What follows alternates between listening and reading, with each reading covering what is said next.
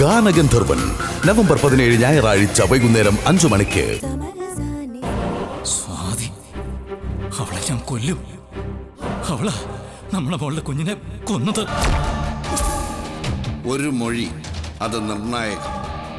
ആരെങ്കിലും മോൾക്കുള്ള ഭക്ഷണത്തിൽ അമോഷനാക്കാൻ എന്തെങ്കിലും കലർത്തി തന്നുവെന്ന് മോൾക്ക് സംശയമുണ്ടോ? ഭ്രൂണഹത്യ.